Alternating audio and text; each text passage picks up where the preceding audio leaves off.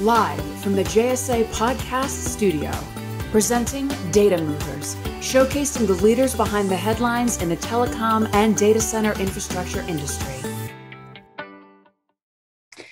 Welcome, everybody, to our podcast series, Data Movers. I'm your host, Jaymie Scotto Cutaia, founder and CEO of JSA.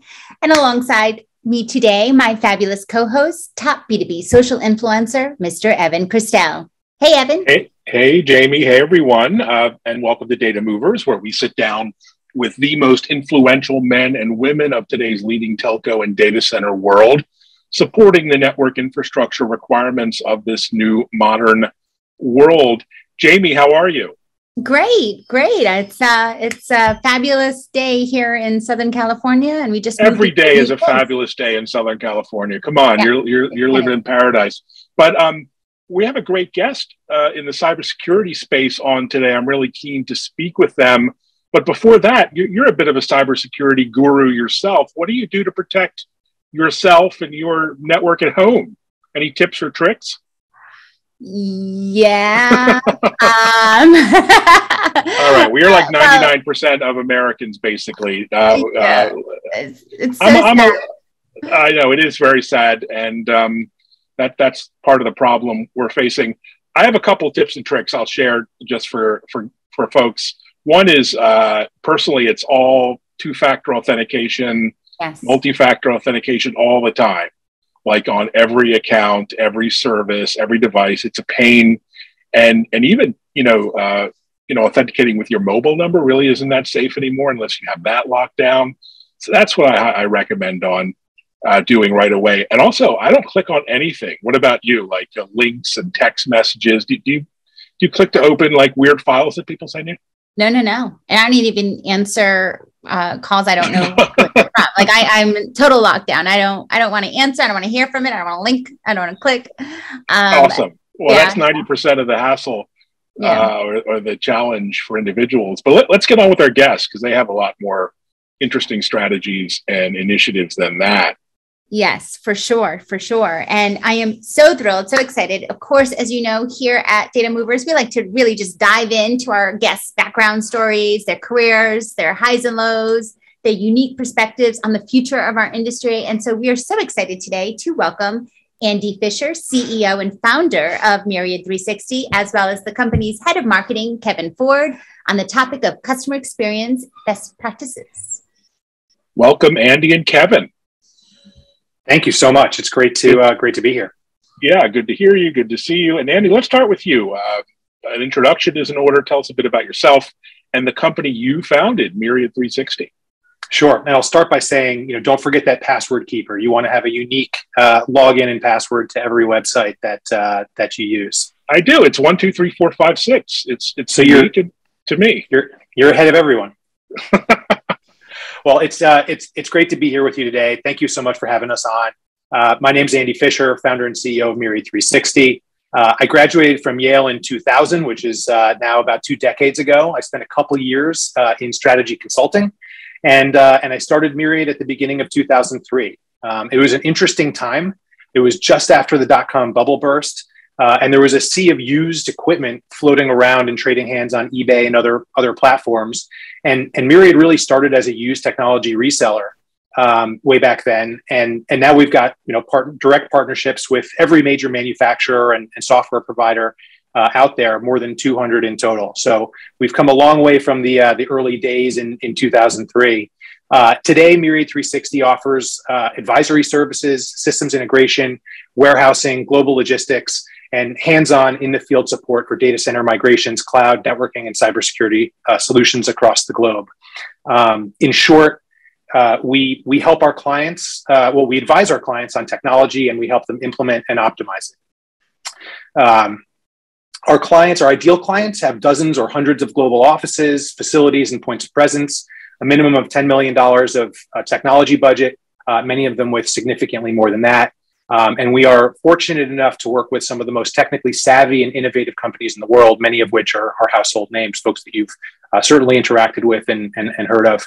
Uh, but really, uh, when I think about it from the 50,000 foot view, our job is simple. We, we need to save our clients time, we need to save them money, we need to reduce risk, and we need to reduce anxiety uh, among the the very busy and stressed people that uh, that we work with every day.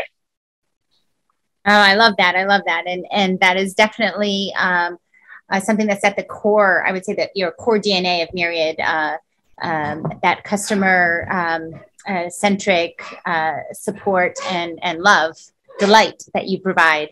Um, so, Kevin, can you introduce yourself as well and what drew you to Myriad 360? Sure. And thanks again for having us on. Uh, happy to be here. So, my name is Kevin Ford. I lead marketing and partner development here at Myriad 360. What drew me to Myriad? Um, so, I've been at Myriad seven years now. I found out about the opportunity from a friend. Uh, right after starting, I could see the company was very forward thinking, transparent, really cared about its employees and customers. So definitely say culture and atmosphere. Uh, also, we have a diverse customer base, uh, portfolio of solutions. So for me and being focused on our marketing, this you know definitely always keeps things fresh, interesting. I'm always taking on new projects and meeting with new new people. So awesome. Well, good, good to meet you. So Myriad 360 is known for having a client or customer first mentality in the company, but but frankly, everyone is saying that these days. And how do you actually walk the walk and not just talk the talk of customer centricity? Yeah, that's a that's a really good question. Um, the the very first thing, even before we start down the path of of customer centricity, um, the first thing that we're very intentional about is who we work with in the first place. Uh, so I've always said that we need to select our next f- uh, five clients as carefully and intentionally as we select our next five employees. It is that important. Um, I can't overstate uh, how important, as, as is true with any long term relationship, that you select the right partner. Um, and that goes both ways. Um, and so, you know, once we've uh, once we've found uh, a client that you know has similar core values similar goals works at a similar speed um, and who's a really good fit for the things that we're really good at you know then we go deep around the discovery phase and so we endeavor to know our customers you know in many cases better than they know themselves or we try to know them better than they know themselves and you know you've been hearing about the great resignation or the great migration for some time now and and with all that turnover um, occurring within our clients' technology teams, you know, we've got a, an opportunity to be a crucial point of continuity in a world of increasing discontinuity. So that's a big piece of it. Um, in addition, you know, we endeavor to be the most flexible partner that our clients have. At our size, which is 110 employees plus 40 to 50 contractors, uh, we have the ability to be far more nimble uh, than a lot of uh, folks that we come up against in the in the field, and we've got to leverage that as a as a key differentiator. Um, it's something that our clients really appreciate as they're trying to drive greater operational flexibility into their businesses um, and deal with increasing um, uncertainty in their marketplaces. Uh, and then when you combine, you know, deep customer knowledge with with flexibility, what you've achieved is what's called customer intimacy. And here's what Harvard Business School has to say about customer intimacy. Um, quote, customer uh, companies that excel in customer intimacy combine detailed customer knowledge with operational flexibility so they can respond quickly to almost any need from customizing a product to fulfilling special requests. And as a consequence, these companies engender tremendous customer loyalty. And that's really what we're trying to do. Um, we we want to be seen as critical members of our clients' teams. That's why we live in Slack with them, Microsoft Teams with them. Uh, we work where they work to ensure that we are truly the easy button for them. Uh, and then finally, um, you know that for all of us, time is our most valuable resource. And so we've got to create value in enter- every interaction, and we've got to give them a very favorable return on the time that they spend with us. So those are the things that we really focus on, that we teach and preach internally uh, to try and ensure that that we are not just talking the talk, but very much walking the walk when it comes to uh, customer experience. Gosh, I just love that you're you're singing to my heart. I I am such a big um, believer in that in that business philosophy, and and I do I see it um, uh, with with your Myriad team as well. And guys, can you share any examples of how knowing your client better has really translated into additional business? Any case studies, perhaps? Sure, sure. Thank you, uh, Jaymie. So we have an established security practice, uh, as Andy mentioned, with both pre and post sale architects. They help with all different types of security services, ranging from discovery assessments, hands on workshops, vendor brokerage, and procurement support, all the way through deployment. I think, a great story that highlights our security capabilities and focus on understanding our customers really well. And, you know, as Andy mentioned before, you know, getting on that level of customer intimacy with them is um, work that we did with a global service provider headquartered in New York. Myriad 360 was engaged to assist with the deployment of an XDR solution, um, really complex environment, over 20,000 devices, locations all over the globe, with no central asset management system or administrative platform.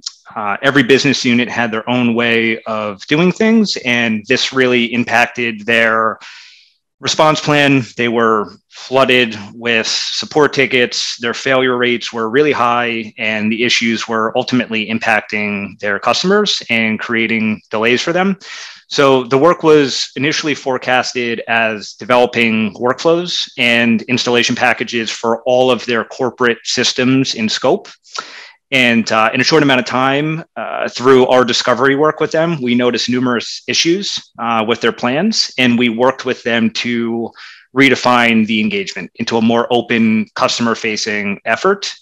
Um, as part of this, we developed formal PM controls, including communication plans, a RACI matrix, and FAQs. Uh, and this really helped to create an environment that showed all the stakeholders we heard their concerns. Uh, we were committed to providing, uh, and we were committed to providing quality deliverable. So uh, within just a few months, we were working with all of their business unit locations, uh, including all leadership, IT, IT department, uh, as well as their international stakeholders to really better understand their existing workflows.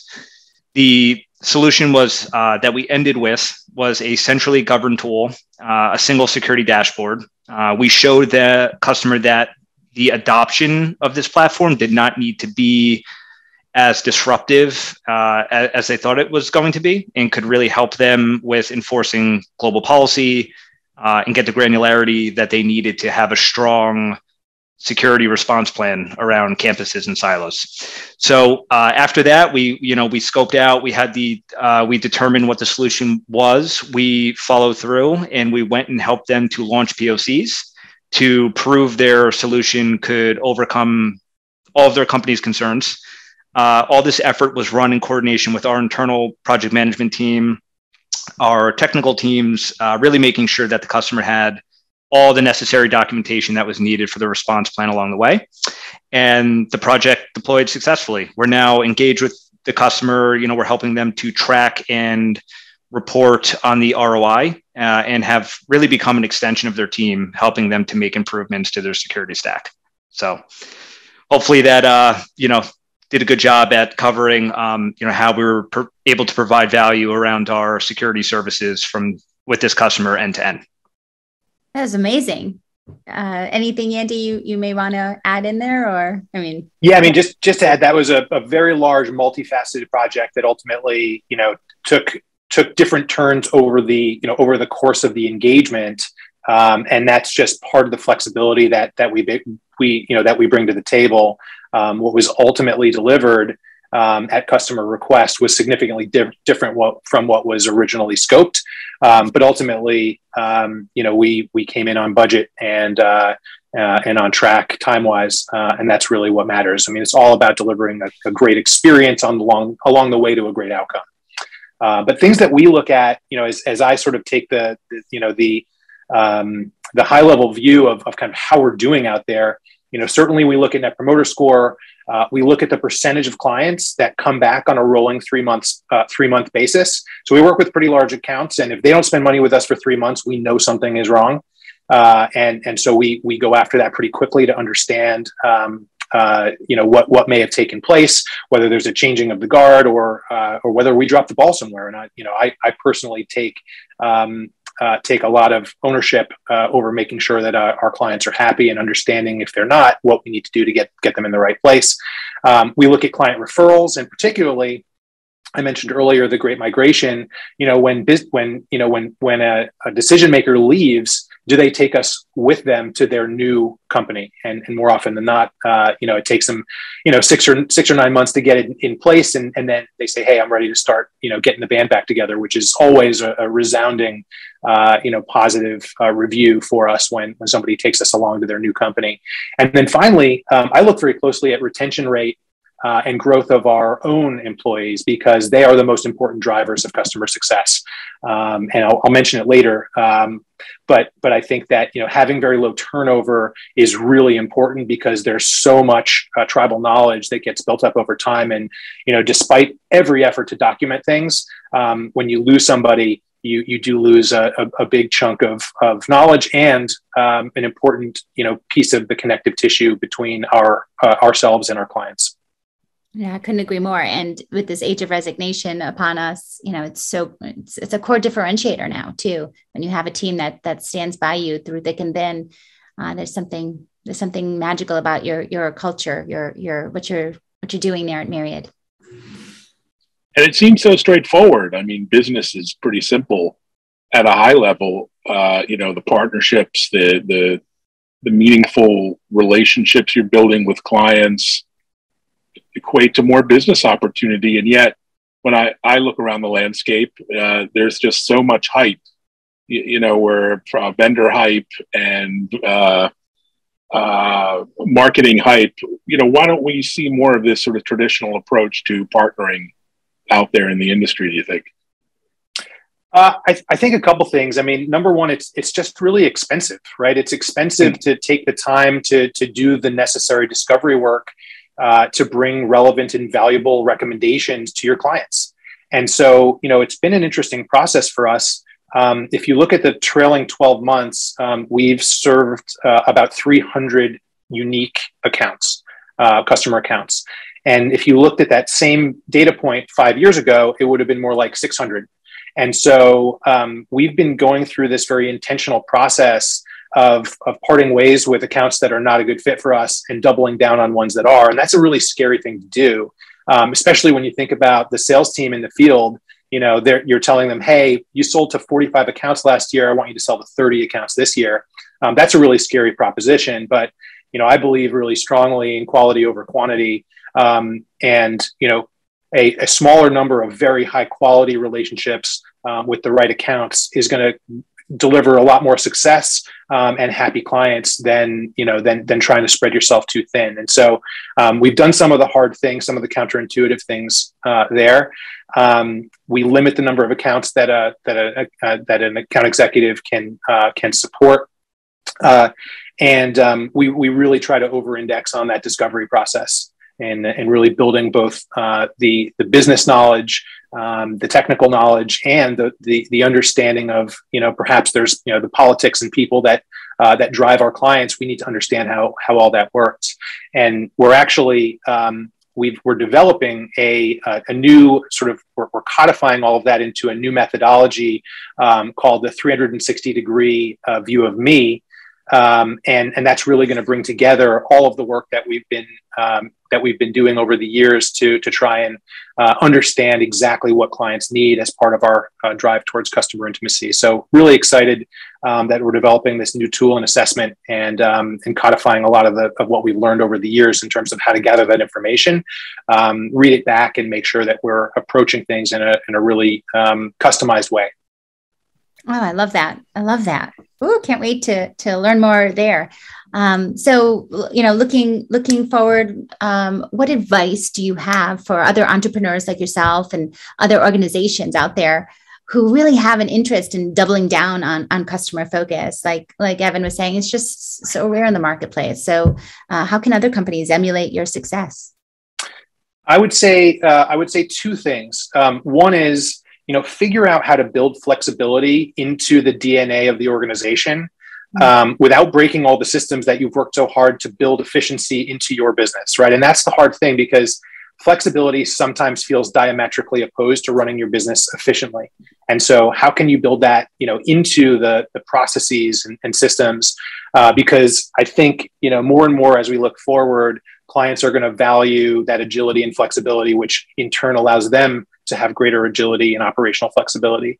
Um, and then the second thing is, you know, be really honest with yourself about your strengths and weaknesses, uh, and focus solely on acquiring customers that will appreciate what you're good at, um, and also whose core values align with yours, because fit is everything. Amazing. I'm going to go off script a little bit, Andy, because I was looking at your LinkedIn bio as we chatted. Uh-oh. And um, you're, you're, a member of a couple really interesting boards. And, yes. and, I'd love just to hear a little bit more of TheatreWorks USA, which yep. sounds fascinating, and LEDA, Leadership Enterprise for Diverse America. What are those all about? Yeah. So I'll give you the elevator pitch for both. Um, okay. So Theater, TheatreWorks is an amazing organization that's been around for a number of decades, and uh, and we bring um, educational uh, almost Broadway quality theater to uh, to um, underserved uh, underserved communities across the country. We do free summer theater in New York, and we believe that um, you know getting folks away from screens, as I'm talking into a screen, uh, getting folks, kids, especially kids, away from screens and seeing uh, live productions. There's just nothing like it, and if you can spark uh, curiosity and if you can spark excitement, um, then more people will experiment with theater, more people will go to theater, and that is a good thing for everybody. Um, so that's TheatreWorks. Uh, LEDA um, is uh, at its core a uh, the, the, the, flagship offering within LEDA is a, a, college access program where we bring 100 scholars again from um, under uh, underserved public high schools across the country, uh, and we endeavor to get at least one student from every state uh, together, uh, they, they do a seven week program um, on the campus of Princeton University every summer, which is actually happening right now as we speak. Mm-hmm. Um, and we give them uh, leadership education, we help them uh, with standardized test prep, uh, with essay writing, uh, and they spend a lot of great time together um, getting to know one another, and they form these amazing bonds. And you know, essentially, we we help them get into top tier colleges because again, we believe that if we can take somebody from an under-resourced public high school um, in a you know in a, in a very rural part of Arkansas, and we get them into a top college, they spend four years there, uh, get a great education. Their whole community realizes this is possible, um, and uh, and they're they're able to you know sort of get it get out of that you know generational um, uh, you know wealth challenge that uh, that that we are seeing more and more in the country. So, um, doing doing amazing work there, and, and very proud of both of those organizations, and, and very happy to be working closely with them. Wow, fantastic! That that's so so inspiring. Thanks for sharing. Sure. Just love that. Just love that. And and that leads us into our really kind of fun rapid fire questions section where we just uh, ask a quick question and you just answer first thing that comes to mind. So uh, I'll get started here. What is an upcoming purchase you're thinking about? Uh, and um, Kevin, I'll start with you. Weed whacker. Oh, interesting. I don't know uh, how you come up with that one. now, are you, are you going gas, electric, or what, what's what's Ooh. the deal? You know, it's a good question. Um, I, am looking into gas and electric. I'm not sure. hybrid. Okay, we're going to hybrid. hybrid weed whacker, the Tesla of weed whackers. Fantastic. Exactly.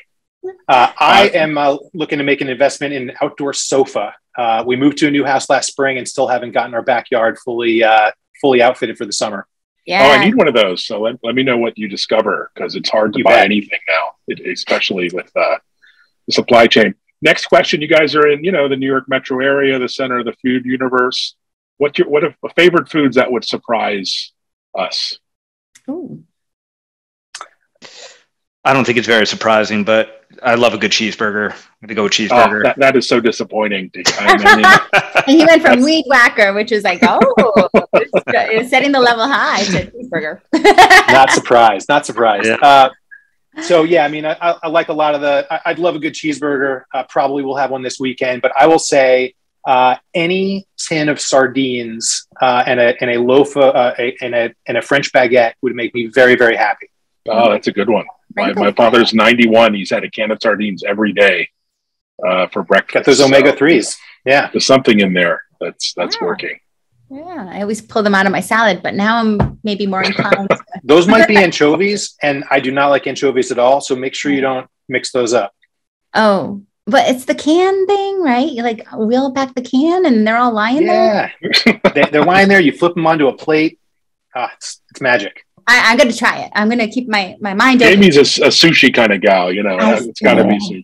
Yeah. I've moved from a place because they didn't have access to good sushi. Like, oh, that's totally reasonable. All right. And then if you could watch one movie on repeat for 24 hours straight, not sure why you would do this, but what, what movie would that be? And uh, again, we'll, we'll kick it off with you, Kevin. Oh, you know, 24 hours straight is tough. Um, it'd have to be something funny, easy. I'm gonna just go with Wedding Crashers. Uh, it's it's a funny, it's, it's hilarious, it's a classic. Just roll on repeat. So, yep. And how uh, would uh, people logic- describe you both? How how would uh, what's one word that people might use to describe? Oh wait, you, you didn't get our movie pick. Wait, wait, wait. I want to hear. Uh, oh, I was gonna. Well, listen, I, I was actually hoping you'd skip me because mine was Dumb and Dumber, and I didn't want I didn't want that getting out there. Uh, but similar line of thinking, Kevin, to you is just like something that I could sort of zone out to and just you know chuckle every few minutes. Twenty four hours is a long time to do anything. Yeah, yeah, we'll, we'll, we'll, edit that out. Don't don't worry. Yeah, but um, Perfect. thank you. what's one word people would describe you? I, I already can think of a few words that are pretty positive, but what would you say? Are we starting with Kevin or me? We'll do Kevin. Kevin? Yeah, go ahead. Got reliable, trustworthy. Nice. I'm on board for that. Yeah, I like those. Those are good for him. Uh, Andy, you can't say yeah. me too. Boy Scouts. There we go. I'm not going to say me too. Uh, no. Um, so I, I, would say, look, I think people think that I have high standards, which I do. I have high standards for them and myself. Uh, so maybe the word would be exacting. Mm. Mm. Awesome. Yeah. I would say entrepreneurial and innovative too. I'll take that. Okay. Absolutely. Changing my answer. All right, and then last last last question before we let you guys go. I know I, we're we're rocking uh, rocking your time here, but uh, favorite holiday to celebrate. I'm to go with Christmas and Hanukkah. We celebrate both. Um, always good to get the family together, see friends. So, you mean it wasn't Amazon Prime Day? That just, just oh, it was. Oh, That's my porch. favorite holiday. and then everything's landing on the door tomorrow from everything I bought on uh, earlier this week, right? Amazing. Uh, for me, I'm going to say uh, Halloween. So I've got a four year old and a three year old. And so seeing Halloween through their eyes, they love getting dressed up. They like staying up late. They like eating candy. Uh, and so um, that's that's become my number one over the last uh, couple of years. I love it's that. a good one. I live near Salem, Massachusetts, so we, we know how to do Halloween out here. yeah, seriously, it's, uh, it's, quite an event. But thank you for joining us, guys. Uh, really great chatting with you and, and, seeing there's still companies like yourselves out there with doing business the, the old school way through relationships and trust. Uh, congratulations. Yeah. yeah. Thank you very much. It's been great thank to be you. here. And guys, if you enjoyed today's Data Movers podcast as much as we did here, Go ahead and check us out, jsa.net slash podcast for upcoming Data Movers episodes releasing every other week on Wednesday mornings, as well as, of course, our other JSA podcast series. And, uh, you know, follow and tweet at us at Evan Kirstel and Jay Scotto, and we do reply back. So thanks very much. And thank you guys again, your, your time, your insight, your love. We appreciate you. And as always, family uh, and community out there, stay safe and happy networking.